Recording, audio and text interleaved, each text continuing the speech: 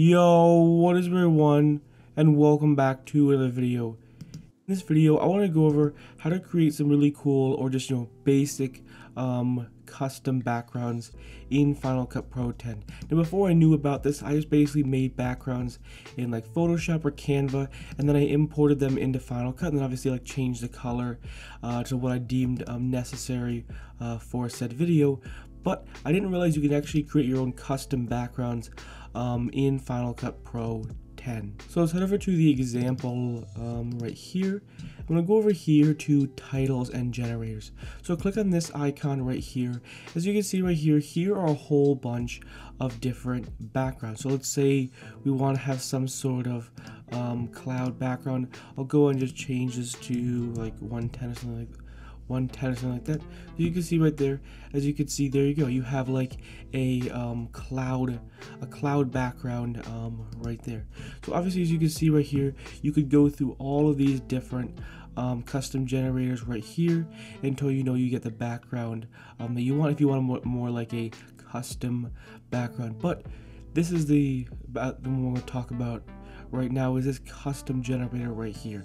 So we go ahead and apply this custom generator right here. You go ahead and play the video, but as you can see, it still has um, a black background. So you ask yourself, okay, how in the world do I um, fix that? So I go ahead and head right here. As you can see, I can play right here, but it still has a black border. Even if I disable enable, you can see right here, nothing happens. You still have that black background. Now, if that's what you want, then by all means, just use like a black background. But most of you probably don't want just a black background. So I'm gonna go ahead and just scale this out even a little bit more just so you guys see what's happening.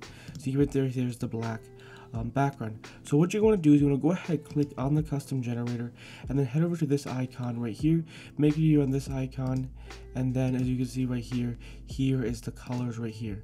So you can go ahead and change the background to any color you want right there. So you can change it to literally any color um, that you want right there. So you can also go ahead and click on the thing right here. As you can see where you can get like a more precise um, color right here. You can go through and scroll through all of the different um, colors right there. You can basically just select a different color background um, you want for your video. So let's just say you want a yellow one right there. So now for this, what I'm to do is I'm to go ahead and just go right here. I'm to type in like 900 right here and let's type in 500 right there. So as you can see, there you go. Now you kind of just cropped it right here. So you can see there's Patrick Mahomes um, right there.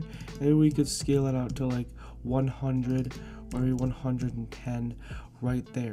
Now you ask yourself, okay, so if I want to do that, how do I center it? So what you want to do is you want to go to view right here and you want to click on show horizons right there. Now granted, actually I'll, I'll pick a different color because it's hard to see. So I'll pick, you know, maybe like a, a purple right there. So now you, you know, actually can see what's happening. So when I go over here, so you can see right here, now it's show horizon. Now I can move the x-axis basically to center this right here. So it looks pretty good um, right now. Now let's go ahead and create a copy right here. Now we can move this over here. You can kind of just keep messing with it. And then we can create a, another copy right there and then move it over right here. You can use the grids, use a whole bunch of different things to make sure it's center, but that looks pretty good for the sake of the video. Then we'll go to click off show horizons right here, click on the custom generator, and then now we can probably change it back to like a yellowish color um, right there. As you can see right there, now you've created this really cool kind of like custom background um, in Final Cut Pro 10. You can of course mess with a whole bunch of different colors and different, you know, a scale, position, crop, whatever you want. You kind of just keep messing with it until you get the look that you want. But just remember, go over here to title and generators, head over here to custom generators right here. Apply the custom generator right here. Click on it put it underneath the clip. Obviously adjust the scale. Go over to this icon right here and then change the color to any color you want. And you can also click on it right here and we get like a more precise reading of said color right there. And there you go It's as simple as as simple. You can create a very simple um, background right there. I originally, like I said before, I used to use like Canva or stuff like that to like you know get like different colored backgrounds if I want kind of like a border effect. But I didn't realize you can actually just do this right into Final Cut Pro 10.